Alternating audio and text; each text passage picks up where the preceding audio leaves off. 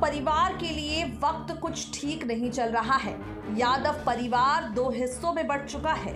एक तरफ़ अखिलेश यादव और डिम्पल यादव समाजवादी पार्टी को मज़बूत करने की कोशिशों में जुटे हैं। वहीं दूसरी तरफ़ अपर्णा यादव के बाद शिवपाल यादव ने भी सपा के खिलाफ मोर्चा संभाल लिया है। यानी फ़िलहाल मुलायम सिंह यादव का परिवार दो हिस्सों में बट गया है।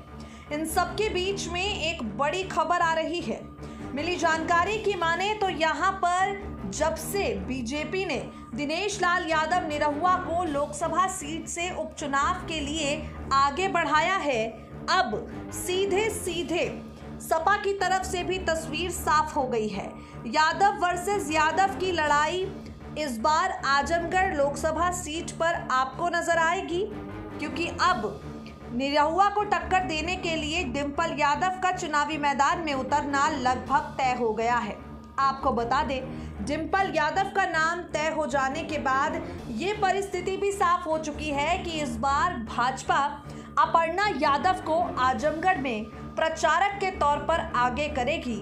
ताकि देवरानी और जेठानी के बीच भरपूर भिड़ंत आजमगढ़ लोकसभा सीट पर दिखाई पड़ सके।